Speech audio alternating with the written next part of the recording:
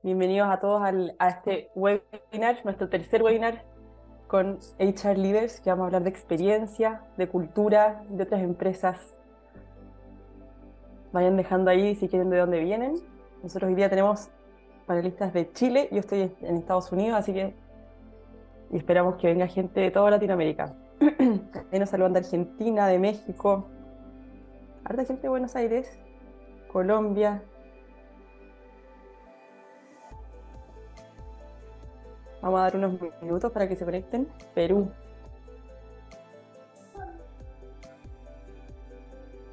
Ahí para, para que se vayan conectando a la gente darles unos minutos para que empecemos. Harta gente de Colombia. Mi equipo es la mitad de Colombia. La mitad es de Colombia y la mitad de Chile. Así que tenemos una cercanía especial. Desde México también. ¿Qué tal las cosas allá en México, Guadalajara? Gracias, Viviana. Nosotros nos encanta también compartir estas experiencias. Muy, muy bueno. Bien, vamos a ir, vamos a ir partiendo. ¿Cuántos vamos? 43. Hay 700 confirmados, así que esperamos que llegue más gente probablemente a, mientras empecemos ya a avanzar.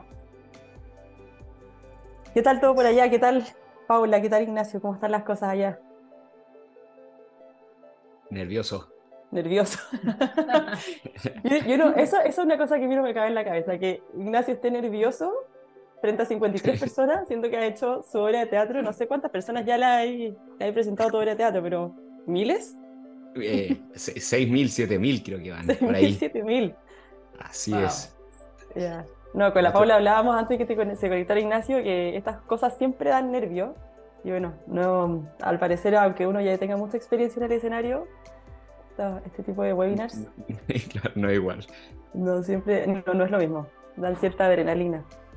Bien. Qué, simpática Daniela Irene Reyes con todo, Nacho. Muchas gracias. un, tener un público muy ahí supportive. Sí, qué, nivel de apoyo. Sí, con todo. Buenísimo. Bien, entonces con los que somos ya vamos a partir. Voy a partir presentando acá a, nuestro, a nuestros invitados de hoy, introduciendo el tema. Es un tema que en verdad eh, nos resuena mucho a los tres que estamos acá. Em, es un tema que, la, verdad que venimos con ganas de hablarlo hace tiempo en Rugby, poner este tema sobre la mesa que creemos que eh, hace mucho sentido hoy en día. Y, nada, encantada de poder presentarlo en conjunto con Paula y con Ignacio, eh, para que también conozcan sus perspectivas, sus perspectivas, sus perspectivas, las perspectivas de otras empresas, etc. Así que esperamos que sea este webinar un webinar que les sirve tanto a nivel como personal profesional como también para sus organizaciones y aplicarlo en su realidad del día a día. Eh, bien, partamos entonces. Eh, si es que se han conectado a los, otros dos webinars de este ciclo, estamos hablando generalmente sobre elementos de la experiencia. El pasado hablamos un poco del estrés, del bienestar, y esta vez queremos elevar un poquito la vara, empezar ya a soñar un poco más como recursos humanos, empezar a soñar nosotros también como colaboradores, como personas que trabajan y llevan todos los días a contribuir su granito de arena a sus organizaciones. Y queremos empezar a hablar de Thrive, que así como definido eh, en el buen castellano es prosperar. O sea, e, esa sensación de que uno está realmente prosperando, como decimos en Chile, rompiéndola en el trabajo. ¿ya? vamos a empezar a hablar de eso, no solamente de estar bien, de estar satisfecho, sino de cómo podemos llegar a estar en ese, en ese estado en que estamos realmente empoderados y energizados en nuestro trabajo. Entonces, bien, sin más preámbulo, vamos a nuestra presentación. Vamos a, eh, voy a estar presentando yo, yo voy a estar liderando esta, esta discusión. Yo soy la jefe de Analytics and AI de Ragmi. Eh, yo ya casi dos años trabajando en Ragmi, eh, me encanta trabajar acá. tengo la oportunidad todos los días de trabajar con distintas empresas, o sea, en la mañana puedo estar trabajando con el gerente de recursos humanos de una mina que está en el norte de Chile, en la tarde con una multinacional que está en México, eh, qué sé yo, eh, otros días trabajo con startups eh, pequeñitas de Colombia. entonces tengo la suerte de todos los días estar expuesta a múltiples realidades organizacionales y, la idea de esto es que podamos traer también todo ese aprendizaje que hemos generado en Ragmi y devolverlo a la comunidad, devolverlo a ustedes, a todos los que nos escuchan y se conectan. les voy a presentar también a Ignacio Navarrete. Traté de hacer esta presentación como cortita, así que la voy a decir rápido, porque son muchas cosas. Ignacio, él es abogado, es actor y emprendedor. Bien hasta ahí, un buen resumen. Estudió Derecho en la Católica, la Universidad Católica de Chile, estudió eh, actuación en la New York University, en NYU, es co-founder de Mudango, eh, una, si es que no la conocen, una startup bien exitosa chilena que ya tiene presencia eh, regional en Latinoamérica. también es una startup que se ha caracterizado por ganarse premios de felicidad, de bienestar, de, startups más, más top de Latinoamérica. tiene otras dos empresas, ¿ya? Escapology, que los que viven en Chile capaz que han podido ir a alguno de estos, de, estos centros de diversión. y también tiene una empresa de energía solar que se llama Rising Sun. Y además de eso, en su tiempo libre, eh, lo usa grabando podcast. Tiene un podcast que se llama Capítulo Cero, que habla de emprendimiento. Y además hace giras con su obra eh, monólogo, multimonólogo, no sé si tiene un nombre eh, específico, que se llama Not Working, que tuve la suerte de ser de las primeras personas que la vio. Y bueno, y él es no solamente el único actor de esa obra de teatro, sino que también es el director y, bueno, todo, el manager. Así que eso, bienvenido Ignacio, muchas gracias por compartir con nosotros. Y también voy a presentar a Paula. Eh, Paula tenía una carrera muy, muy entretenida en recursos humanos. Ella es psicóloga, psicóloga organizacional, estudió en la Católica, eh, es coach y team coach. También, bueno, cuenta con varios años de trayectoria en recursos humanos, partió en Price, eh, hizo también una carrera como consultora de capital humano, entonces también ha tenido mucha exposición a muchas diversas empresas y realidades organizacionales distintas. fue subgerente de desarrollo y talento en el grupo Security, Security y actualmente es directora del área de People and Culture de Patagonia, Patagonia Chile, la marca. Así que también nos va a traer esa visión que creemos que es súper interesante porque esta es una empresa que lo está haciendo las cosas distintas y queremos ver cómo desde el rol de la Paula estas iniciativas se están llevando a cabo. Así que muchas, muchas gracias Paula por acompañarnos. Buenísimo, vamos a lo nuestro. Bien, yo voy a estar hablando hoy día un poco sobre cómo balancear este estado de energía, de prosperar, de estar así como rompiendo en el trabajo desafiado con el bienestar, ya que es algo que es un balance medio precario que a veces se logra, a veces no, pero sabemos que como empresas tenemos que apuntar a ese balance, ¿ya? Queremos levantar la vara en Rugby, queremos no solamente estar midiendo compromiso, satisfacción, queremos que la gente no solamente esté satisfecha en su trabajo, queremos que la gente esté prosperando, realmente floreciendo en su trabajo. Y eso es lo que vengo a hablar hoy día. Un poco de Rugby, para los que no nos conocen, nosotros tenemos una empresa, un software de recursos humanos que tiene integrado todo el ciclo de vida del colaborador y tenemos presencia en más de 10 países de Latinoamérica, tenemos más de un millón y medio de usuarios, por lo tanto tenemos muchísima, muchísima información eh, y vamos como ahí siempre eh, trayendo las tendencias a nuestros colaboradores un poco para que entiendan de dónde viene mi mirada, eh, nosotros tenemos, como les comentaba, todos los procesos de recursos humanos integrados en un solo lugar, por lo tanto tenemos muchísima, muchísima información. ¿ya? Yo que soy la jefe de Analytics, eh, básicamente me pusieron acá para decirme, mira, tenemos todo este mar de información, ¿cómo podemos generar eh, más insights a nuestros, a nuestros clientes? Y bueno, y de acá surge un poco este tema de thriving, porque lo que muchos clientes de nosotros nos piden, y hemos hecho algunos meta-análisis, cruzando la experiencia de los colaboradores con su desempeño. Y lo que uno se empieza a dar cuenta es que los altos potenciales empiezan a levantar, empiezan como a buscar algo más, ¿ya? Esto es algo típico, los high potentials no buscan lo mismo generalmente que el resto de la organización. Empiezan a, buscar energía y desafío, son dos cosas que nos salen y se repiten mucho en los estudios que nosotros hacemos. Entonces, con esto, cuando hace un tiempo atrás leí un, un artículo de Dan Klinghoffer, que es la Head de People Analytics de Microsoft, que hablaba de esta nueva vara que se puso Microsoft de empezar a medir thriving, no engagement, no compromiso, sino que prosperar en el trabajo, me hizo inmediatamente mucho sentido porque lo he visto muchas veces, muchas, muchas veces en los estudios que nosotros hacemos. ¿ya? En el fondo había algo más que no estábamos siendo capaces de capturar con el compromiso y que era esta como capacidad y este fuego interno de las personas por realmente contribuir a su trabajo.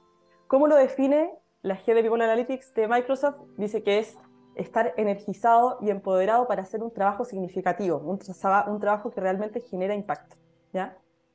Eh, Gallup, que no sé si lo conocen, esta empresa que hace este tipo de estudios con, con millones de personas, o sea, hizo un estudio con más de dos millones de personas y definió a los thriving workers o los trabajadores que están prosperando como colaboradores que encuentran sentido en su trabajo, están conectados con el equipo de la organización, se sienten orgullosos y además asumen responsabilidad de su desempeño y van más allá, ¿ya? Van más allá por contribuir, ¿ya? Esto es algo, creo que es una definición bastante robusta de lo que estamos tratando de buscar y como conceptualizar.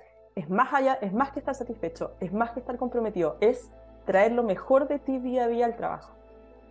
Eh, Gallup midió cuánta gente está efectivamente thriving o prosperando en su trabajo y salió que el 31% de los trabajadores eh, de Latinoamérica se sienten así, energizados, empoderados, trayendo lo mejor de sí mismos.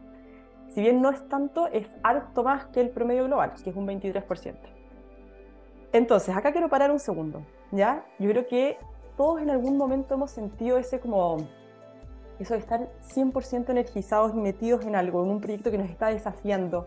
Eh, por ejemplo, cuando yo, cuando yo llegué acá, que hicimos, por ejemplo, eh, bueno, hace poco tiempo lanzamos el área de inteligencia artificial en Ragmi, eh, y esto es algo que desde marzo, con las personas que ido trabajando, esto salió de una, una conversación de pasillo con una persona, realmente como que nos embebimos en este proyecto, que por más de que mi balance vida personal laboral se fue a la punta del cerro, eh, yo estaba contenta y energizada tratando como de sacar resultados lo más rápido posible. Yo creo que todos en algún momento, o espero que todos acá en algún momento hayamos sentido esa sensación de estar realmente em, dándolo todo en el trabajo. Y es una buena sensación, es algo que realmente queremos fomentar. Pero, y acá viene el pero, también vemos que en esta misma eh, encuesta de Gallup, eh, los niveles de estrés están subiendo un montón. Ya el 44% de las personas que participaron, que eran más de 2 millones de personas, declararon tener un alto nivel de estrés, ¿ya? Y lo que vemos es que no se puede prosperar si es que no tenemos una base como de bienestar que esté eh, asegurada, ¿ya? O no se puede prosperar como de manera sostenida en el tiempo. Podemos romperla en una semana y entregar un gran proyecto, pero estar en ese nivel como de, de, de, de energía de manera constante, si es que no tenemos como una buena base de bienestar, realmente no es posible. Entonces, el balance entre bienestar y energía es algo que realmente las empresas eh, están mirando y tenemos que empezar a trabajar. Hay ahora un montón de research que están sacando sobre la crisis energética humana, ¿ya? Y creo que realmente hay un punto ahí. O sea, tenemos que cuidar la energía de las personas con las que trabajamos para que puedan realmente volcar lo mejor de sí en trabajo. Bueno, no quiero extenderme mucho, pero quería traer este, como, esta matriz que ya mostré en, en el webinar anterior, que es eh, como una matriz de activación con bienestar. Básicamente, ¿a qué queremos apuntar? A altos niveles de activación, pero con también altos niveles de bienestar entre las personas. Si tenemos altos niveles de activación y pocos niveles de bienestar, lo que generamos es estrés, ¿ya? O sea, es estar corriendo por deadlines, pero no estar siendo capaces de manejar o de prosperar eh, en lo que estamos haciendo. Y creo que es muy interesante también ver qué pasa si es que tenemos altos niveles de bienestar, sin embargo tenemos pocos niveles de activación, pocos niveles como de pasión en el trabajo si quieren.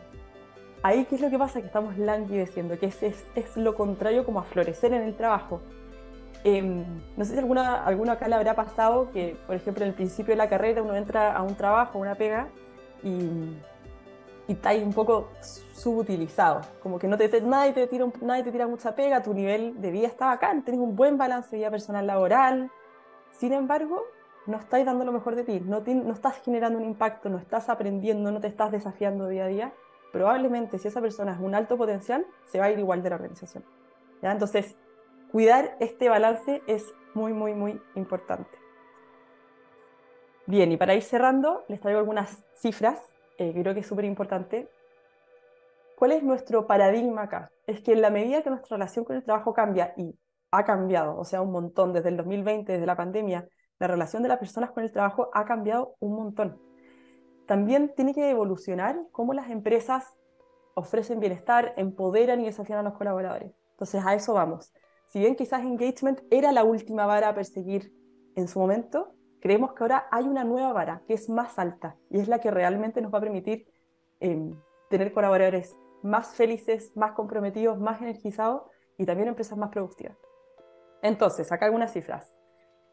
Eh, los colaboradores que se sienten desafiados en su trabajo son un 23% más productivos que los que no lo están, son un 50% más propensos a estar satisfechos en el trabajo y, un 25 y tienen 25% menos probabilidades de que dejen su trabajo en el corto plazo. Entonces, esto de estar desafiado hace que, que seamos más productivos, que estemos más satisfechos y que además es un elemento súper importante en la retención. ¿ya? Es, es algo que realmente puede generar una, una diferencia. Y por otra parte también eh, vale mencionar que las empresas cuyos empleados declaran tener un sentido de propósito, que acá la Paula nos va a mostrar mucho de eso, em, muestran resultados financieros bastante más altos que, su mercado de referencia. O sea, esto es un tema importante em, y nosotros cuando, cuando nuestros clientes nos piden sus resultados de experiencia, muchas veces nos piden, ya, pero a ver, yo quiero hacer planes para que la experiencia de mis altos potenciales sea mejor.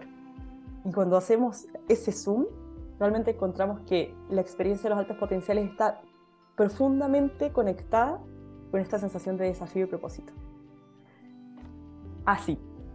Simplemente para terminar, les traigo esta como matriz, yo no sé si alguno acá, yo sé que la Paula sí, porque fuimos compañeros de psicología y lo vimos en la carrera hace años atrás, eh, han visto alguna vez la pirámide de Maslow. Bueno, esto los de Microsoft eh, hicieron ahí una apropiación cultural más o menos y la tomaron y dijeron vamos a hacer las, en nuestro modelo las 5P, eh, que es en inglés, así que la verdad es que vamos a tener que cambiarle el nombre en español, pero básicamente dice que nosotros deberíamos apuntar como organizaciones a generar un sentido de propósito. Y cuando la gente tiene un sentido de propósito, realmente puede prosperar y florecer en el trabajo. Sin embargo, para tener este sentido de propósito, necesitamos asegurar ciertas cosas básicas. ¿ya? Entonces, a la base está el tener un buen salario, tener beneficios, tener buenas relaciones interpersonales en la organización. Después viene una, sentir orgullo por la organización y por lo que uno está haciendo. Y finalmente, después de que todas esas otras cosas están cubiertas y se cumplen, podemos empezar a apuntar a generar realmente propósito en las personas con las que trabajamos. Eso. Les dejo simplemente con un último pensamiento antes de pasar con nuestros invitados, que quiero darles ahí espacio para que ellos también cuenten su experiencia, que es realmente la parte más interesante de este webinar. Em, Microsoft lleva ya unos años midiendo Thrive, ¿ya? o sea, midiendo esta, esta, esta sensación de, de prosperidad de los colaboradores. ¿Y qué encontró? Que me pareció muy interesante y lo quería traer acá a la discusión. Encontró que las personas que alcanzaban un mejor balance entre bienestar y desafío ¿ya? O sea, entre bienestar y esta sensación de estar ahí como energizado, eran aquellas personas que en promedio tenían cinco horas menos de duración en su semana laboral, o sea, trabajaban cinco horas menos, tenían cinco horas menos de colaboración, ¿ya? O sea, yo creo que a todos nos pasa de repente que tenemos la agenda llena de reuniones. Ya, esto, al parecer, eh, le juega en contra un poco a la capacidad de prosperar tienen tres horas más de enfoque, ¿ya? Tres horas más a la semana que lo tienen bloqueada para enfocarse en alguna tarea. Eh, y tienen 17 personas menos en su tamaño de red interna. No sé si han, leído acerca de esto, pero uno puede mapear las redes internas de una organización. ¿ya? Uno puede mapear, por ejemplo, con cuántas personas yo converso día a día o cuántas personas yo converso periódicamente. En general, estas personas que están prosperando en su trabajo tienen redes internas un poco más pequeñas. ¿ya? Lo dejo ahí, me pareció interesante, creo que es una buena forma de empezar a indagar este tema de cómo podemos generar organizaciones que permitan a los colaboradores prosperar. Em, pero bueno, ahí dejo ese pensamiento y ahora vamos eh, con nuestros invitados que nos van a traer tanto sus realidades personales, y esto fue porque yo se los pedí porque realmente son personas muy interesantes, eh, como también qué es lo que han hecho en sus empresas para que prosperen los colaboradores. Le doy la palabra a Ignacio que nos va a hablar sobre el thriving personal hacia un thriving en equipo. Bienvenido, Ignacio. Muchas gracias, Manu. Muy entretenido todo lo que estabas contando. Hola a todas, hola a todos. Gracias por conectarse. Estoy nerviosísimo. Siempre digo eso al principio porque así me baja un poco. Em, gracias por tenerme aquí. Eh, cuando la Manu me invitó a hablar de esto, parte de la invitación, la mitad era porque soy gerente de persona y cultura en Mudango, pero la otra mitad es también porque sabe que, soy alguien que thrivea personalmente y, y, en eso fue como, creo que el aporte que va a poner, tener hoy día, la, Paula es extraordinaria, está con una empresa que tiene un propósito gigante y creo que ella va a ser el, el corazón de hablar acá desde la empresa. Entonces creí que mi aporte en esta oportunidad iba a ser como, creo que incluso nosotros tenemos muchas veces la duda de, pero a ver, antes de que la empresa esté en Thrive, ¿estoy yo en eso? Entonces dije, voy a contarles primero como cómo fue, como yo encontré esto para mí y cómo lo supe llevar de a poquito hacia los equipos, especialmente Muango, que es donde, donde tengo este rol como founder. Entonces, dale nomás mano a la siguiente. Ella hizo una presentación rápida de quién soy yo, pero la verdad suena muy cool, pero, pero estuve muy perdido. Eh, yo quería estudiar teatro en tercero medio, cuarto medio antes de salir del colegio, no me dejaron, entonces busqué lo más parecido que encontré y era derecho, que no se parece nada, y era, era humanista, no sería y estudié derecho y siempre como con esa promesa a mí mismo de trabajarlo va a ser más entretenido y tampoco tanto, pero trabajé tres años como abogado porque dije, bueno, tengo que probarlo y, hacerlo y era, ya tengo mi título, soy abogado, me definía yo, ¿qué eres? Soy abogado. Y lo que no fui era actor, em, pero siempre seguía haciendo teatro en paralelo y después de tres años de derecho dije, ya, no, esto no es, me faltan muchas, que, que no tenían nombre, me faltaban cosas, no era esto, entonces pero teatro tampoco, porque no me veía actuando de, lunes a domingo, repitiendo la, misma obra, quería hacer mis obras, que son con imitaciones, personajes, y eso no estaba dispuesto, entonces no, lo quiero hacer así, no lo quiero hacer de cualquier manera, entonces ni, mi, ni lo, que, lo que me gustaba más, ni el título eran, era lo que yo tenía, lo que yo era, entonces era que soy, y ahí pasé por dudas existenciales, y entré a estudiar coaching durante un año en, la católica, y coaching ejecutivo, como para ayudar a otros, pero realmente fue, un boomerang, me, fue para mí mismo, porque los ejercicios era coaching, y ahí era como, oh, y ahí la Manu y la Paula, eh, envidia total profesional mía de, que estudiaron psicología, creo que es un pendiente que, tengo, que tiene mucha relación con, con el teatro. Y, coaching me abrió un poquito a, evaluarme, a entenderme y, nada, me tiré a emprender. El 2016 ya llevo 7, 8 años emprendiendo. Tengo estos distintos proyectos que, contaba a la mano, pero, pero tampoco, tampoco digo como yo soy emprendedor. Y, ahí pasó entre mezclar coaching, poder seguir haciendo teatro, que, es mi pasión, el derecho, que es, un, es una base de pensamiento que me puso para las cosas, y emprendedor, que que, no es una profesión, es una acción casi emprender.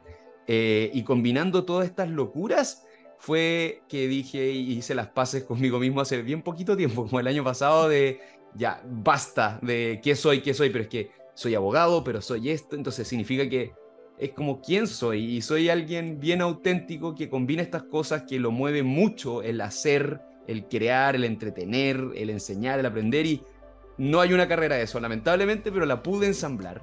Entonces ahí dije ya, vocación, hablemos más de vocación, tengo vocaciones más que una profesión. Y con eso, esa es la parte, la perdida, la parte bonita de ya, ya estoy en paz con esto, pero hay desafíos que he tenido que manejar estos últimos años, especialmente que es, tengo muchos proyectos personales y de emprendimiento, y esto genera balances y desbalances que, como en el gráfico de la mano, en una pandemia como emprendedor te mueves al estrés. Lamentablemente vas a estar con un nivel de, de cosas que hacer, urgencia y todo, y el bienestar no estaba muy bueno pero en momentos de mayor paz, por ejemplo, que no pasa nada, ser el abogado de una empresa solar no me tiene desafiado porque eran contratos muy parecidos siempre y ya lo sabía hacer y dónde está esa otra cosa indeterminada como ¿por, ¿por qué faltan tantas piezas si ya, ya, ya estoy haciendo de todo lo que me gusta? Es, te guía lo que te gusta, te guía lo que eres bueno, te guía no sé cuánto y ahí dale con la siguiente nomás mano eh, como digo, fue una larga búsqueda y, leo mucho, como se puede ver. Y hay muchos libros, yo creo que varios acá, si es que son interesados en estos temas, le han aparecido el libro Drive, que es más enfocado, está pensado para la venta, pero es Drive como eso, es el, Drive es lo que, lo que te motiva. Y te dice que si es que tienes autonomía en tus tareas, si es que tienes maestría de lo que haces y un propósito claro, tienes Drive. Y yo como, oh, tengo Drive, pero todavía no es felicidad total y como todavía no es lo que estoy buscando. Grit, de Angela Duckworth, un libro muy bueno. Grit es como la garra, esta cosa que dice la gente, los, los top performers, los sobresalientes tienen pasión más perseverancia. yo como, los tengo, pero, pero no, no me responde todo.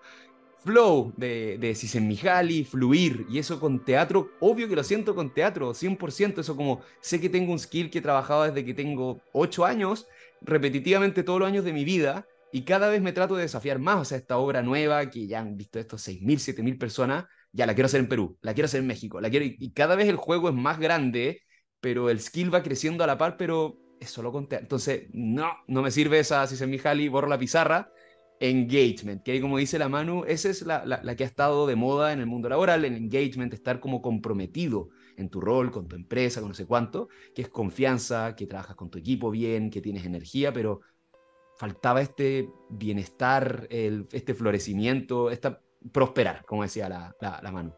Y esa es la respuesta. Y lo de Thrive, cuando la, mano me dice quiero hablar de este tema, leí el artículo que me mandó y es como, ya, ahí está el nombre, que, que ensambla un poco de todos los elementos que están acá arriba, de mi propia historia.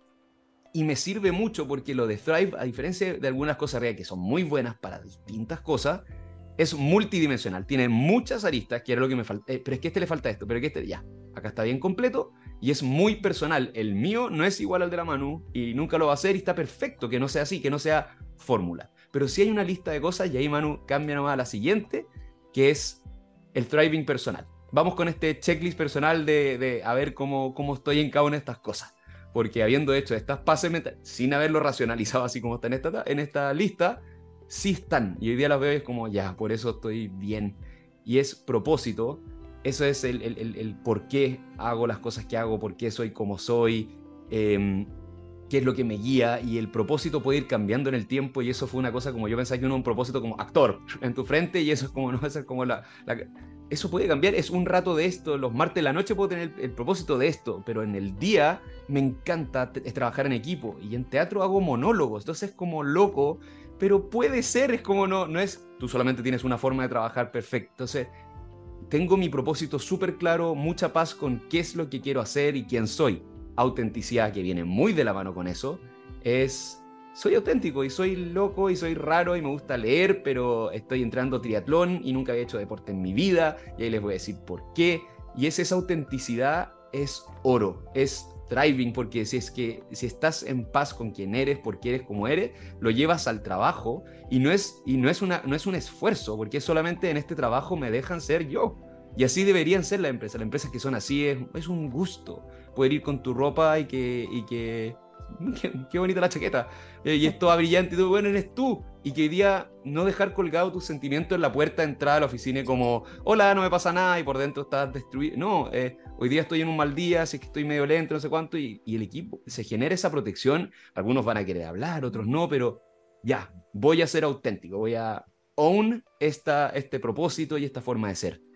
Tercero, salud física y mental. Ya, salud física no había. Era un ratón de biblioteca, actor, y este año dije, ya voy a hacer algo que soy realmente, o sea, nunca he hecho deporte, ahí soy cero. Y voy a ser malo de nuevo. Voy a partir en algo y triatlón me pareció lo suficientemente demente y entreno en las mañanas. Imagínense emprender y ponerle tres deportes entre medio. Y me cambió la vida porque la disciplina la tenía y la pude traspasar a eso. Y es un deporte de disciplina, hay que cumplir las horas y hacer las cosas. Y con eso mi salud física se disparó y eso le pega directo a la mental que está en la misma línea. Y la salud mental me la da poder hacer teatro una vez a la semana. Me basta y me sobra para sentir que estoy haciendo lo que me apasiona, alcanzar a echarlo de menos para querer hacerlo de nuevo con ganas. Y hacerlo es irme del mundo por dos horas. Yo me cuesta meditar porque tengo muchas palabras en la cabeza, pero en una hora si trato de pensar algo que no sea, tengo que hacerlo reír con la próxima línea, no sale. Entonces logré ese equilibrio ahí. Relaciones sociales me leí un libro muy bueno, se lo recomiendo ahí la mano que es chica Harvard, puede haberlo leído quizá, que es Una buena vida, que es este estudio gigante que hicieron durante 80 años de qué es una buena vida. Es el estudio como más longevo de, de la verdadera felicidad, el verdadero bienestar de las personas y te dicen, hay dos formas de medir eso. O le hago una encuesta a todos al final de la vida como, ¿cómo estuvo? Buena. Y este momento fue malo y te acuerdas de lo más bueno y de lo más malo. O le vas preguntando a la gente cada momento durante toda su vida. Y eso hicieron. Y la conclusión más grande, así espero no spoilear mucho, es las relaciones sociales es lo más importante y determinante de tener una buena vida. Y eso es, la gente con la que trabajas es gran parte de tu vida. Entonces tienes que elegir muy bien con quiénes te rodeas, de quiénes aprendes, a quiénes miras, a quiénes admiras, a quiénes, quiénes te admiran a ti, a quiénes le estás enseñando. Es una cantidad de conexiones, como dijo la Manu, muy relevantes. Y eso yo no lo tengo en un monólogo y no lo tengo haciendo triatlón. Las relaciones sociales las consigo en mi trabajo, en mis equipos y en mis proyectos. Logro de objetivos es, siempre me ha empujado mucho esto, me gustaba sacarme la mejor nota y estudiaba para eso. Y después se va a la universidad y es como me quedé sin notas y ahora como quién me evalúa y si yo tengo mis propias empresas y yo estoy armando equipos, te puedes poner objetivos en tantas cosas dentro, fuera del trabajo, puedes ayudar a otros a cumplir su objetivo y te haces parte y se siente tan rico como eso entonces estoy tapado de objetivos muy distintos en distintas cosas y eso me motiva. Emociones positivas y de gratitud. El hecho de, en mis distintas empresas tener instancias de agradecimiento, eh, el sentir un aplauso cuando termino de actuar es lo más lindo del mundo, es un premio a lo que vamos a hacer. Entonces tengo muchos momentos de gratitud creados para esto. Resiliencia, esta es la que yo no entendía que estuviera en la ecuación y porque la lista es muy buena hasta ahora, como hacer deporte, ser auténtico, todo es positivo, pero resiliencia es como tienes que saber aguantar que van a haber cosas muy difíciles y muy malas. Y me tocó. Y, me, y mi vida iba súper bien desde que empecé a emprender, pero la pandemia, dos años con un parque de diversiones 100% cerrado, una empresa digital de transporte y de mudanzas, ¿cómo va a pasar esto? ¿Cómo lo vamos a sacar adelante? Equipos, como eh, toda esa inestabilidad, volver a la casa de mis papás, como a los 32 años, arrastrando la maleta, devolví el departamento, vendí el auto y era, si es que yo decía, yo soy emprendedor, si es que me personalizaba en eso, era un fracaso, o sea, porque estaba siendo muy mal emprendedor. Eh, y era por culpa ajena, pero bueno, tú te metiste en esto y esto es lo que eres. Y no, no, no era solo eso. y en esa pandemia escribí la obra de teatro, y en esa pandemia todos los negocios lograron salir y están más fuertes y mejor armados y con buenos equipos. Y hoy día esa resiliencia, que es la palabra que más hubiese vetado antes de una pandemia, es, digo, qué bueno que pasó, porque hoy día sé que voy a ir siempre a un objetivo más grande y me la puedo, y voy a tratar, y si no me la puedo solo, tengo estas conexiones y relaciones sociales, y así se va a sacar. Y finalmente el bienestar subjetivo, que es, ¿qué sientes? ¿Te sientes feliz? Como, el, como preguntarte a ti mismo, como, ¿cómo estamos? ¿Estáis bien? y el hecho de tener el rol de cultura y personas, que muchas personas conectadas acá deben estar en equipos de, este, de, este, de, este, estilo, uno sabe que ayudando a los otros en su felicidad, en su trabajo, en lograr su objetivo, hay mucha satisfacción y es como se contagia, pero además estás escuchando las vidas de otros y viendo el desarrollo de otros y eso te hace al ti mismo como, ¿y cómo voy yo? Como esta persona la veo medio perdida por acá, pero está haciendo esto y se pegó el, medio salto, como logró destrabar esto que tenía un jefe, que no sé qué, y ahora prosperó. Yo tengo que hacer esto también, entonces estamos, tenemos la ventaja del cargo, de estar expuestos a ver mucha humanidad. Y eso te ayuda mucho a estar midiéndote, entendiendo y aprendiendo de los otros. Dale nomás. Si puedo hacer un, un comentario que lo encuentro muy interesante, que este, este eh, checklist personal es muchas veces el checklist de, de, lo que miden las empresas cuando miden experiencia. Miden propósito, miden la capacidad de traerse uno mismo al trabajo. La salud mental y física absolutamente, siempre, en cualquier encuesta de experiencia está. Relaciones sociales, de las cosas más importantes y así. Entonces, realmente es algo que se puede traducir al, al mundo laboral. O sea, realmente es algo, nada, es un paralelo muy interesante. Exacto. Muy bueno. Y ahí eso, ahí la mano me, me hizo el, el, pase perfecto para escalar la presentación. Ahí ya me va quedando poquito y es Hace dos años yo, era fundador de esta, empresa Muango, que es de muanzas y bodegas en Chile, Colombia y México, y mis socios me dicen, Nacho, yo siempre era como la carta que podías usar en, todo. Nacho contrata, pero Nacho va a hacer los videos de marketing porque es actor, y me encanta. Ese es, como mi, rol generalista, pero fue hace dos años pasamos de ser 12 personas a ser 100, y en tres países. Entonces necesitamos a alguien a cargo de cultura y personas, y queremos que tienes que ser tú. Y yo, perfecto. Entonces con ese desafío lo primero que hice como ya, pero ¿qué, qué, hace una... Em-, como si yo estoy en modo Thrive, Mudango, mis empresas están en modo Thrive, como una empresa está en eso? ¿Tiene la misma lista o no? Y una empresa para, para, para estar prosperando, para que le vaya bien, tiene que ganar plata. Eso, eso es una empresa. Entonces, la primera, claro, crecimiento financiero, pero lo segundo puede crecer estafando a los clientes. O sea, puedo vender mucho y muy caro y los estafé a todos, la satisfacción del cliente. O sea, sin eso, lo otro va a caer tarde o temprano. Lo tercero, gestión efectiva. Ustedes me escuchan que tengo hartos proyectos y cosas eso porque tengo extraordinarios socios que son muy buenos gestores. Yo no soy el, burro principal que lleva uno de los proyectos. Yo los admiro y los tengo que admirar porque les estoy confiando mi futuro desde económico hasta qué es lo que va a ser esto y cuál es el próximo país que vamos a abrir. Para mí son puras sorpresas. Y me encanta que sea así porque ellos son grandes administradores. Entonces esa gestión es muy importante para que la empresa prospere, para que yo esté tranquilo y haga mi trabajo, tengo que saber que el auto está bien manejado. Innovación, como si la empresa está estancada haciendo todos los días lo mismo, nos vamos a aburrir todos, desde el gerente hasta el personal de aseo, todos se van a aburrir. Ética empresarial, podemos haber hecho todo lo anterior bien, pero por detrás que hayan razones realmente truchas y sucias y cosas así, y eso sale a la luz y se acabó todo, esa empresa no está en Thrive. Lo mismo con la responsabilidad social empresarial, que la Paula con Patagonia puede hablar más de eso, que haya un propósito que haya más allá de uno mismo o del equipo de uno. Y tener esa cultura organizacional sólida, que era lo que me estaban pasando a mí. Yo no iba a estar a cargo del crecimiento financiero y por favor nunca estarlo, porque no sé sumar. Pero lo de la cultura ya lo estaba haciendo, pero no tenía nombre. Y ahí, dale nomás, Manu, la cultura. Y dije, soy el nuevo CPO, el gerente cultura y persona ¿cómo hago sexy y bacán y entretenido y que la gente quiera entrar y quedarse en una empresa que principalmente son programadores, operadores de bodega, vendedores y atención al cliente? Es muy operativa y es muy aburrido. Bodega y mudanza son las peores palabras del diccionario, yo creo. Y dije como, oh, ¿cómo lo hago para competir con cosas tan, tan entretenidas como RankMe, que está metido en las vías de las personas y ayudando, y con esa mano que tienen data y en muchos países? Era como, oh, oh, ya y ahí, y también, ¿cómo hago mi cargo? O sea, no, no, soy ni psicólogo ni ingeniero comercial y empiezo de nuevo, ¿qué soy? ¿Qué soy? No, ya, bajé eso y fue, vamos a hacerla al estilo emprendedor. Y empecé a hablar, empecé a contactar por LinkedIn a todos los que tenían mi cargo en empresas que yo admiraba. Entonces, me junté con la gerenta de personas de Fintual, la Sara, que está en México, es genial. Me junté con el de contrataciones de Corner Shop. Me junté con el de felicidad organizacional del BCI, que es uno de los líderes en eso. Y así tengo 8, 9, 10 entrevistas y empezaba a decir, te voy a hacer preguntas y voy a ir anotando. Y media hora, media hora, y mi, lo que les decía para que me aceptaran las reuniones, te juntas conmigo y te mando el documento que viene como con todo lo que estoy aprendiendo y todos felices. Pues, y se armó como mi mini manual. Y ahí lo primero era tienes que tener el propósito de la empresa clarísimo y los valores de la empresa. Eso salió en todas, así como si fuera un papel para calcar, todas. Dijeron, no hagas nada, no pongas ni un beneficio antes de tener esas dos cosas y majadero a repetirlas, porque te van a servir para todo lo demás. Y así empezaron a salir varias conclusiones muy, muy buenas. Y lo que hice acá, para simplicidad, es simplemente agarré la lista de Thrive personal, que es cómo fue mi proceso, y la llevé y cómo lo, lo empecé a accionar y qué parecido es como dijo la mano, como en la empresa esto se puede medir, en la empresa pasa así, ahí están, es la misma lista. Propósito y valores, todos sabemos, el propósito de la empresa, los valores de la empresa tiene que ser para entregar los premios eh, asociados a cada valor, como lo hace RankMe, que cuando fui a RankMe me regalaron unos vasitos que tiene como el, el propósito impreso, eh, ahí paso la publicidad RankMe.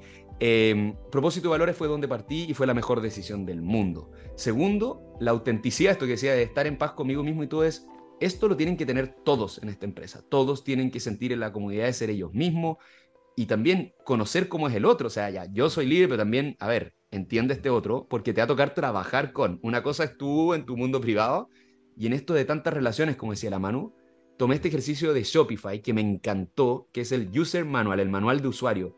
Y este dice, los, los, microondas, los refrigeradores vienen con un manual para que no se echen a perder y para saber cómo usarlos bien las personas el primer día de trabajo deberíamos hacer lo mismo, decir como, este soy, pásenme los de ustedes, por favor, cinco personas con las que voy a trabajar, y te lees algo tan entendido en una presentación PowerPoint muy simple y sale, Nacho Navarrete, mira, tuve problemas con que me importaba demasiado el que era y me di cuenta que esto, me encanta trabajar, yo soy de llamada, ah, es que, y otros van a decir, no soporto que me llamen, no soporto que me ya, ok, entonces, cuando yo necesito algo, eh, cuando tú necesitas algo mío, porfa, llámame, porque prefiero explicarme hablado. Pero cuando sea para ti, no te voy a llamar. ¿Y por dónde prefieres? Por WhatsApp. Ah, sale que por WhatsApp. Ya, por WhatsApp. No, es que WhatsApp se me pierde todo por la plataforma, por Slack. Ah, ya. Y la gente te dice, ¿por dónde? ¿A qué hora? Como si yo sí necesito un hola, ¿cómo estás? O yo prefiero que seas directo al callo porque no tengo tiempo para leer tantas cosas. Y todos somos distintos. Pero uno se conoce y conoces al otro y ese ejercicio te vas a morir de la risa, hay gente que se ha emocionado porque puedes poner quiénes son tus inspiraciones, por qué eres como eres. Porque mi papá es muy estructurado y mi mamá es chef y es muy creativa. Soy la mezcla de esas dos cosas y por eso saco proyectos adelante. Y con eso conoces a la gente y la autenticidad explota. Entonces, si les puedo de toda esta lista, ese es el quick win más lindo que podrían hacer. Después, salud física y mental. En Muango muchos, muchos son deportistas, van a correr juntos, nos inscribimos a carreras en la Patagonia el año pasado, todos juntos, la liga de fútbol. Y hacemos Mudango Talks, que son como las TED Talks, pero de Mudango, donde los mismos gerentes enseñan temas de su especialidad al resto del equipo. Da lo mismo si eres de call center de Colombia, se conectan todos y es una clase de productividad personal. La semana pasada el CEO de la empresa estaba preocupado porque veía que algunos gastaban su sueldo, como de forma así le decían como estoy muy desordenado. Hizo una charla de finanzas personales el gerente de una empresa y es muy lindo porque lo estudió y lo hace bien y lo puede enseñar ahí, no tiene nada que ver con Muango, salvo que es nos preocupamos de esto, de estos temas que van más allá. Relaciones sociales, tienes que admirar a tus socios, a tus compañeros de equipo, a tu jefe. Eh, si es que no es así, preguntarte por qué no es así, tener esas conversaciones. Y nosotros tenemos los Mudango Coffees, que es una, una página, eh, es, gratuita, está ahí en, buscan en Google coffee aleatorio. Ahorita hay un botón y claro, te toca el match. A mí me tocó con la Manu, que está en Estados Unidos y no nos conocíamos. Y tomamos un café por 15 minutos y tenemos que mandar una foto los dos online tomando el café. Y se generan estas relaciones de un operario de bodega en México con el gerente general acá en Chile. Y es muy lindo y muy fácil. Y es como, ah, trabajo con humanos, no, no es esto operativo y poco sexy. El logro objetivo, creo que todos tenemos distintas formas, KPI, OKR, nosotros ocupamos OKR, y de los cuatro que tenemos, uno es de cultura, es que tengamos cierto nivel de felicidad, que somos de las 10 empresas más felices para trabajar en Chile, eh, dentro del rango de 100 personas. Em, y me encanta que uno de los OKR sea mi responsabilidad y que esté esto de que la rotación no sea tan grande, pero es normal que haya cierta rotación y que esos temas estén en la mesa de los grandes números, tienen que estar ahí.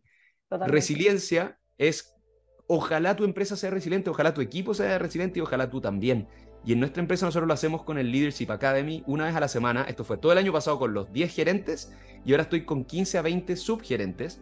que es la Leadership Academy. Cada semana hablamos media hora de qué está pasando, qué problemas hay. Y la mano es como, ah, estoy con problema con una persona en mi equipo que no estoy logrando llegar. Y otro, oye, mira, yo el año pasado tuve eso con él. Y es, uff, otros ya lo vivieron, me dicen que lo pasaron mal, me cuentan cómo salieron, incluso se pueden quedar después ya, mira, te ayudo con esto. Y porque nosotros, como, como somos una empresa más pequeña todavía, las, la ayuda tiene que venir de esto, de los pares o de los gerentes y las experiencias todas las tienen y son traspasables. Entonces esa resiliencia y esos aprendizajes comunes los pasamos así semana a semana. Y finalmente el bienestar subjetivo es cuando te hacen las preguntas, ¿cómo estáis? Lo que dice la mano, estas encuestas están en la encuesta de clima, la encuesta de, de, desempeño, son formas de ver, a ver, estoy realmente feliz acá, me estoy desarrollando acá, estoy aportándole yo también a la empresa, pensar ese de vuelta, porque un compromiso 50-50 es qué le doy yo a ellos, qué me están dando ellos a mí, y ahí uno ocupar eso, no solamente clic, clic, clic, clic, clic, clic, clic, déjame me den mi bono, es una instancia para pensar harto. Y nosotros así lo transmitimos, así lo compartimos y Clima lo hacemos tres veces al año. Y eso es el camino de cómo fue mi descubrimiento del trade personal hacia el trade de equipo. Muchas ah, gracias. Muy, muy, muy interesante ver cómo lo, lo, lo aplican, que realmente tiene una bajada concreta. O sea, parte de estas cosas, de todas maneras, las voy a empezar a aplicar en mi equipo. El, el user manual, absolutamente. Eso es lo que otro brillante. Eh, el, Leadership, eh, Leadership Academy me encanta porque estáis como generando estas instancias de compartir tu aprendizaje y en verdad, Exacto. mucha de la gente cuando toma puestos de liderazgo, es la, acá en, en hay mucha como seguridad psicológica, si se quiere. Entonces, cuando yo eh, tomé el puesto de liderazgo, lo que me dijo el, gerente general, me dijo, yo cuando partí siendo gerente general de Raimi era la primera vez que era gerente general de una empresa, así que tienes derecho a no saber lo que estáis haciendo. Eh, y eso, en el fondo, tener estas instancias en que uno puede ser vulnerable y decir, oye, a mí me cuesta esto, no sé cómo hacerlo. Y que otra persona va a decir, oye, yo estuve ahí hace dos años, déjame ayudarte. Creo que es una gran, gran iniciativa para implementar en nuestras organizaciones. Mil gracias, Ignacio, por, por muy buenos insights. Y ahora, Paula, cuéntanos de Patagonia. Yo creo que todo, desde que Patagonia cambió su, su misión, estamos, yo creo que el mundo de gestión de personas eh, los está mirando, porque en verdad es muy interesante lo que están haciendo. Así que cuéntanos tú eh, cómo se está viviendo desde adentro. Súper. Eh, gracias, Manu. en primer lugar, gracias por la invitación. O sea, estoy feliz y gozando escuchándolo a ustedes. Me reí con Nacho. Por suerte está silenciada porque entre que conectaba y me reía, Em, así que voy a salir de todas, eh, de todas maneras más enriquecida después de este webinar. Así que gracias por la invitación. Eh, hablando de lo que dijo Nacho, efectivamente yo creo que uno de los highlights, nosotros también lo hacemos, eh, de hecho lo llamamos Rhythmi, que es parecido al, manual de usuario y en verdad es increíble. O sea, termina así como casi que cada uno tiene que poner su meme y nos sirvió muchísimo. Así que gracias Nacho por ese tip, se los recomiendo 100%. Bueno, eh, a diferencia de Ignacio, y lo dijo ah, en su comienzo, a mí cuando la Manu me contactó, eh, me habló de Patagonia, de cómo nosotros como una, una, empresa con sentido, con un propósito claro, que es conocida en el mercado por, esta, por este propósito, eh, ¿qué hace para mantener a las personas al interior energizadas, empoderadas y en este balance? Entonces nosotros, para contestar esta pregunta, nosotros siempre decimos que somos una empresa dirigida por nuestra misión y aterrizada por nuestros valores. Y me gustaría partir por nuestra misión. No sé si la conocen, eh, pero es, estamos en este negocio para salvar nuestro hogar, el planeta Tierra. Y tiene dos partes súper relevantes. La primera es que estamos en este negocio. Eh, Patagonia, si bien eh, dona las utilidades después de su reinversión a Em, temáticas de justicia medioambiental y social, es un negocio y nos importa ser un negocio rentable, ser un negocio sano, ser un negocio sostenible, porque si no, ¿cómo vamos a ser referentes? O sea, podemos estar donando, pero cualquier otra empresa te va a decir, ya, pero ustedes no son rentables, entonces, ¿de qué me sirve eso? Entonces, partimos por ahí. ¿Y para qué? Para salvar nuestro planeta, eh, nuestro hogar, el planeta Tierra. Y cuando hablamos de nuestro hogar, el planeta, no nos referimos solamente a lo medioambiental, sino que también a todas las comunidades que habitan el planeta Tierra. Entonces, todas las problemáticas de justicia eh, se vuelven súper relevantes. Entonces, si bien tenemos un propósito y una misión que se actualizó hace unos años atrás, creo que una de las cosas que, eh, por lo menos a mí y con las personas que he conversado internamente, nos mueven más es que tenemos un propósito que vivimos y que vemos en acciones concretas cómo se lleva a la práctica y no en los buenos momentos, porque tal como dijo Nacho, todas las organizaciones pasamos por momentos difíciles y yo creo que es en esos minutos donde se pasan por momentos difíciles donde nos enfrentamos a decisiones de negocio relevantes, es cuando ponemos en jaque que priorizamos, eh, cómo ponemos el propósito acá adelante. Entonces, para partir un poquito con nuestra historia, eh, Patagonia antes de ser Patagonia, que bueno, no sé si todos la conocen, pero es una empresa de, eh, eh, de ropa outdoor, eh, era una empresa de equipamiento de escalada. Dale mano nomás. Em, ¿Y por qué esto es relevante? Porque cuando uno hace equipamiento de escalada, no importa que tu producto sea simplemente bueno. En verdad, de la calidad de tu producto depende la vida de las personas. Entonces, desde ese comienzo, la calidad fue uno de nuestros valores transversales. Y eh, cerca de 1970 eh, nos enfrentamos, yo te diría que a uno de los primeros como desafíos éticos eh, en los que se pone en jaque tu misión. Que uno de los productos estrellas, que eran los pitones de escalada, era el 70% de la venta, todos Estados Unidos lo compraba, felices, nos dimos cuenta de que estaba dañando la roca. Entonces tú ahí decís, yo soy una empresa que vengo a cuidar el planeta, pero mi producto estrella lo está dañando. Y la, la decisión que se tomó en ese minuto, hace muchos años atrás, fue dejar de vender este producto estrella y traerse los empotradores móviles, que era el producto que se, usaba en Europa, pero que era un riesgo porque claramente en Estados Unidos no se conocía. Entonces ahí desde los inicios Patagonia entra no solamente a vender productos, sino que también a educar a nuestra comunidad respecto a estos productos. Cómo podemos usar estos empotradores móviles, cuál era el, impacto de los pitones. Y así han habido un montón de decisiones organizacionales de, por ejemplo, fue la primera marca Outdoor que empezó a usar eh, material de botella. Ustedes se van a reír porque ahora ya muchas empresas lo hacen, pero fue la primera marca Outdoor de usar el material de las botellas para hacer los polar, que es como el producto estrella. Después en pasar del algodón normal al algodón orgánico regenerativo. Eh, y el año pasado eh, efectivamente aparecimos en muchos medios porque Yvonne Chouinard, nuestro fundador, eh, junto a su familia, deciden traspasar la organización, y ahí en la siguiente lámina, em, a Holfast Collective y Patagonia Purpose Trust, y en el fondo, ¿qué nos permite esto? Decir que la tierra ahora es nuestra única accionista, porque a través, se traspasan los dividendos, es decir, todas las utilidades después de reinversión, eh, el 98% a Holfast Collective, quienes los donan a comunidades, organizaciones que luchan por la justicia ambiental y social. Y esto que nos ha permitido que estos, eh, este año, por ejemplo, se done un 8 o 10 veces más de lo que se estaban donando con las iniciativas que ya se hacían antes, que por ejemplo se unaba el 1% al planeta. Entonces, em, ¿por qué les cuento toda esta historia? En el fondo, eh, porque cuando uno está en una organización con un propósito claro, pero realmente ves en el día a día esa consistencia y coherencia entre el propósito y, las decisiones, te energiza. Em, y ahí, dale Manu, nomás avanza, em, eh, porque finalmente uno lo cree. ¿ya? Eh, y eso no quiere decir que seamos perfectos, o sea, yo creo que Patagonia eh, es, está en una de las industrias más contaminantes, la tercera más contaminante el retail, la industria del textil. Eh, y claramente tenemos talones de Aquilo, el tema es cómo nos enfrentamos a ellos, cómo los revisamos, cómo mejoramos nuestros procesos y cómo somos transparentes. Y cómo somos transparentes también de esa información internamente, cómo la estamos comunicando. Otro em, ítem que yo creo que hace a Patagonia especial en, respondiendo a la pregunta de la Manu y nos permite eh, llevar el Tribe es el pensamiento no convencional, que es uno de nuestros valores y que se reconoce constantemente, que tiene que ver con preguntarnos el por qué hacemos las cosas así y las podemos hacer de otra manera y el proponer y da lo mismo el nivel jerárquico que tú tengas en la organización, porque la verdad es que no hay mucha burocracia, sino que tú puedes proponer nuevas formas de hacer las cosas de distintos equipos y es muy bienvenido.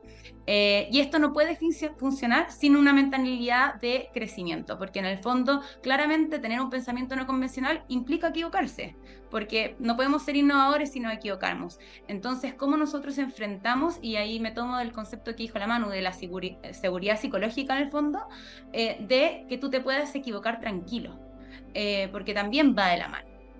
Y eh, copy-paste a Nacho, súper alineados. Creo que otra de las cosas em, que nos hace especiales es la autenticidad.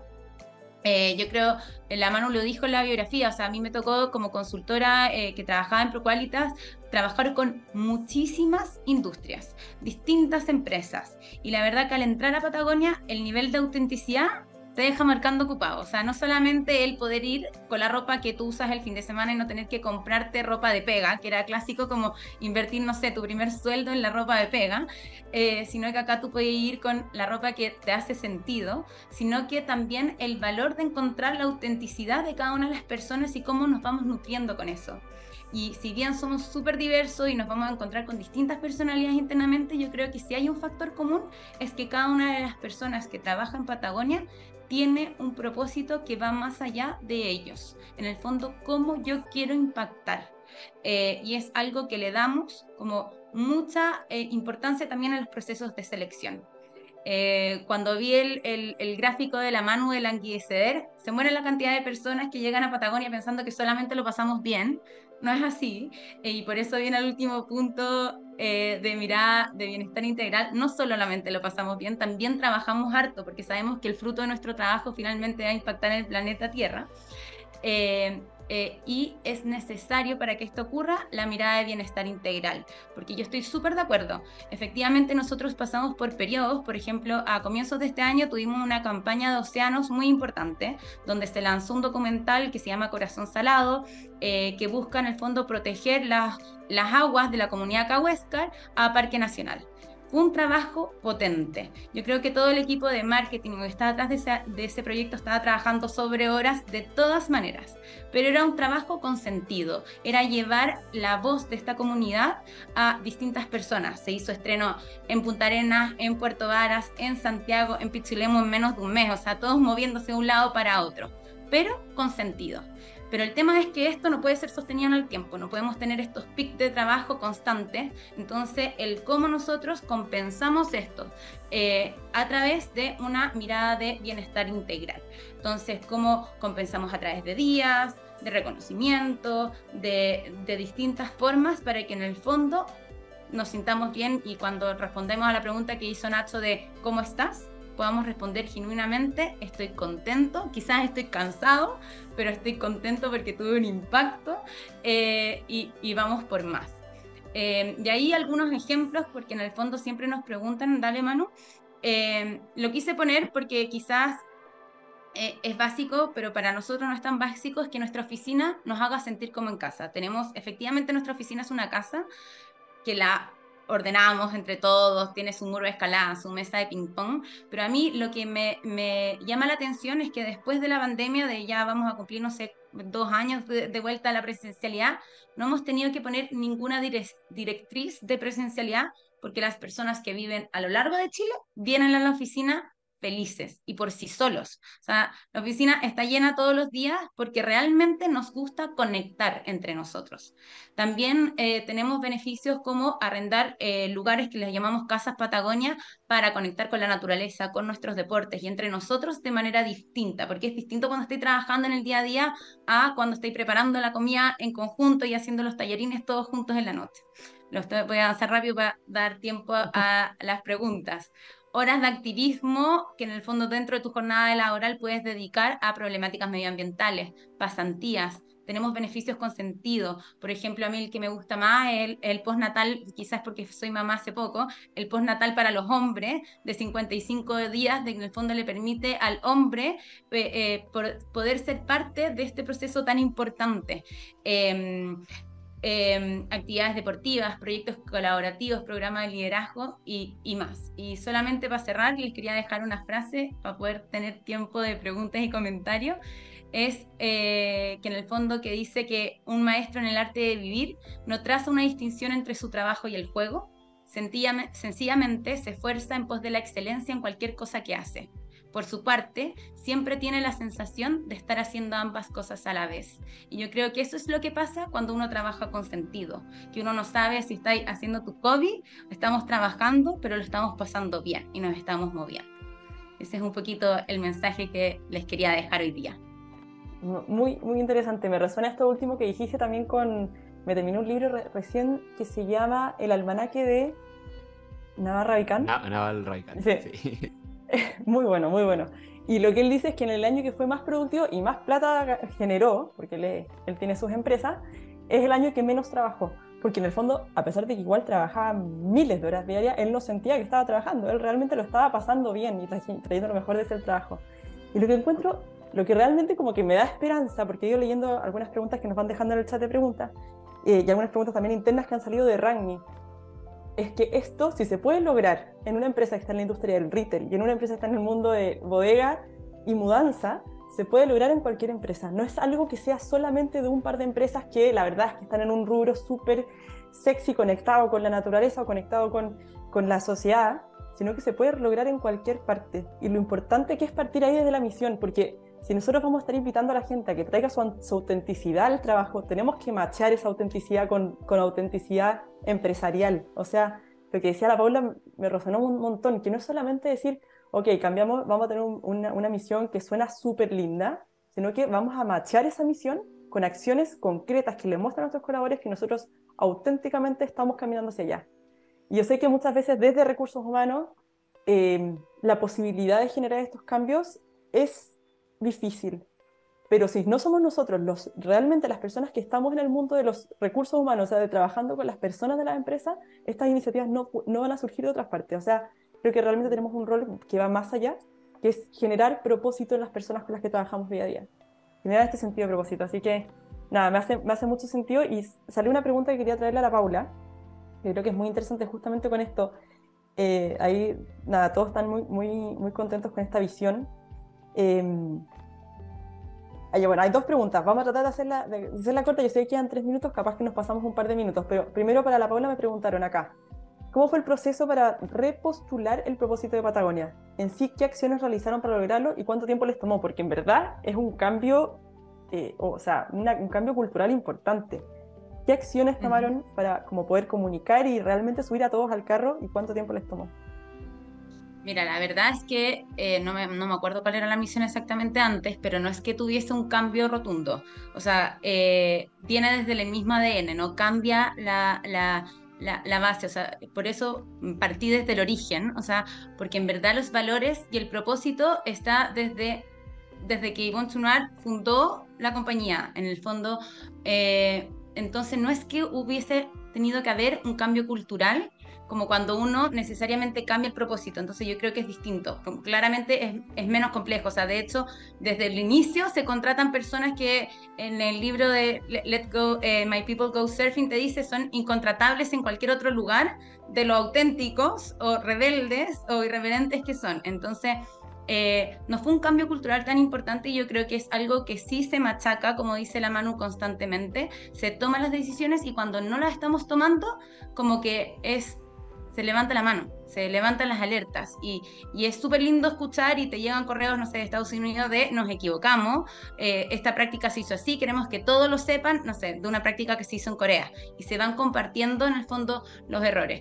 Eh, fue un proceso colaborativo y ahí no me quiero, quedan dos minutos y no quiero que Nacho pueda eh, responder la siguiente pregunta que también le hicieron, pero ahí Marcela, si quieres escríbeme por LinkedIn y te cuento un poquito más en detalle de, del proceso también.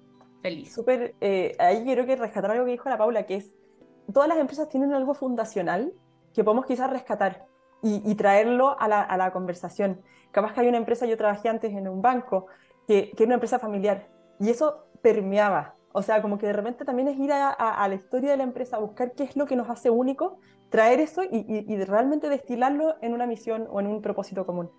Eh, y bueno, y finalmente para cerrar, nos están pidiendo también si es que Ignacio podéis hablar un poco más o ahondar un poco en el tema de la autenticidad y en particular en esto del uso del, del manual de Mudango, para, porque quieren eh, entender un poco mejor cómo lo llevan a cabo y cómo ustedes también fomentan esa autenticidad en sus colaboradores.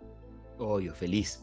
Y eh, creo que ese, ese manual es muy importante, especialmente muchos deben estar en empresas que es como, oh, qué bonito suena ser auténtico en Patagonia y donde Nacho, pero en la mía no, como que no lo hablamos y cómo, no puedo llegar mañana vestido con mi tutú y, y hablándolo como, como me siento. Pero es una muy buena forma, muy formal de empezar a conocerse completos. Y tú mismo lo preparas, es pueden encontrar muchos modelos. Busquen Shopify User Manual en Google y son está descargable hasta un template incluso. Entonces pueden ocupar ese de base. Y lo que hace es armar una presentación. Parte por, los, por tus gerentes, después lo bajas a los subgerentes, después lo bajas a toda la empresa, para que sea un proceso controlado al principio, aprendan a hacerlo. Ellos lo pueden después hacer con su equipo. Y es básicamente decir cuáles son, cuáles son tus, cómo percibes tus fortalezas, tus debilidades, cómo te gusta trabajar. Cómo, nosotros decimos cómo te subimos al camión y cómo te bajamos del camión. A una persona, porque somos una empresa de mudanza. Entonces, ¿cómo me suben al camión? A mí me suben al camión. A mí, Nacho, me subes al camión felicitándome. Me encanta que me felicites. Soy actor. Vivo para risa y aplauso. Entonces, me encanta que me cuentes tus cosas porque voy a tratar de ayudarte a solucionar y voy a sentir que tenemos confianza. Me subes al camión eh, metiéndome a proyectos creativos. Me, me bajas del camión si es que me hace sentir tonto. Me bajas del camión si es que em, como no respetas a alguien de mi equipo y lo no sé cuánto. Entonces vas poniendo eso y, la gente lee esto y es como, ah, chuta, le importan mucho estas cosas y estas no. Prefiero que me contactes por aquí. Trabajo dentro de estos horarios. Para mí es muy importante hacer deporte. Si tengo un día sin deporte me pasa esto. Y cuando uno los verbaliza, y es una presentación y es un PowerPoint, tiene la seguridad de, es como siempre hablamos, pero estás hablando de ti y la gente como, oh, qué bueno. Entonces cuando entra alguien nuevo a tu equipo o al grupo gerente o lo que sea, tu bienvenida es hola, ¿cómo estás? Y tomen un café y además te pasó esto. Esta es la trampa. Acá está el cómo soy y, buscas las cosas comunes y le tratas de pedir el suyo y es algo muy bonito de hacer. Espero que haya quedado más, más claro ahí. Buenísimo. No, muy, muy, muy bueno. De verdad que quiero empezar a implementar eso. Y quería tomar acá para cerrar una pregunta de Pilar que creo que me parece muy interesante, que dice, ¿qué pasa cuando las personas están muy conectadas con el propósito de la empresa, pero aún así no están satisfechos o comprometidos. ¿Qué está pasando ahí? Yo creo que eso es algo que, em, que existe, nosotros lo hemos visto en algunas empresas. Trabajamos en empresas, es, trabajamos con algunas empresas que están en el rubro de educación, por ejemplo, algunas empresas que son eh, sin fines de lucro o, o sí, ¿cómo sea? Eh, como fundaciones. Em, y también en mi experiencia personal me tocó trabajar muy de cerca también con la ONU en algún momento, hace unos años atrás, eh, trabajando con el equipo que, que iba como en hacía respuesta a emergencia. ¿ya? Es un equipo que está, es que no hay equipo que esté más conectado con un propósito. O sea, eran equipos que, eh, terremoto en Haití, que estaban al día siguiente volando a Haití con cargamentos de comida y agua. O sea, el propósito ahí era alto, pero tú veías a la gente quemándose. Y yo creo que muchas veces lo que pasa es que la gente está comprometida con su empresa, tiene esa, esa, esa conexión muy profunda con lo que está haciendo, pero aún así no se cumplen cosas básicas de bienestar que son necesarias para que realmente nosotros podamos prosperar y traer lo mejor de nosotros al trabajo. Yo creo que eso es algo, volvemos nuevamente entonces al tema de balance, balancear estos dos temas, el desafío, el propósito con bienestar. O sea, hay cosas básicas que también no podemos descuidar eh, como empresas. Siguen saliendo preguntas, yo creo que no vamos a poder seguir tomándolas porque ya estamos eh, pasados, pero por favor, bueno, y acá me tomo la libertad de invitar a los que quieran hacerles preguntas a Ignacio, hacerles preguntas a la Paula sobre sus realidades. Les pueden escribir. Eh, de verdad que eh, eh, son, o sea, son excelentes referentes para mí también, así que por favor, adelante y, y eso, no sé si, queremos, si podemos responder una pregunta, no, me, dice acá, me dicen acá de marketing que ya tenemos que ir eh, cerrando.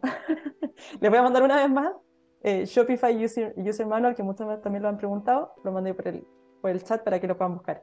Y bueno, les agradezco un montón.